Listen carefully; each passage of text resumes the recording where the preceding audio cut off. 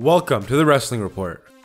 First up today, we have something that could land WWE in serious legal trouble.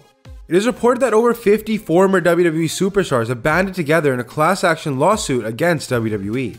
The basis for this suit is that the company failed to care for wrestlers' repetitive head injuries in any medically competent or meaningful manner. Pretty much, the superstars are saying WWE didn't properly care for its wrestlers, and that also the company refuses to acknowledge wrestlers as employees, but instead as independent contractors. This is apparently done to avoid any blame when it comes to the situation at hand. There are some recognizable names that are part of this suit, such as Chavo Guerrero, Ahmed Johnson, Sabu, Muhammad Hassan, Marty Jannetty, Jimmy Snuka, and Road Warrior Animal to name a few.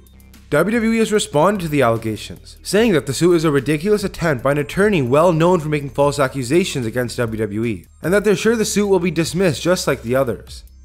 Only time will tell, but with this much support behind it, the WWE could be in a bit of trouble here. Next, we have news on the WWE Champion.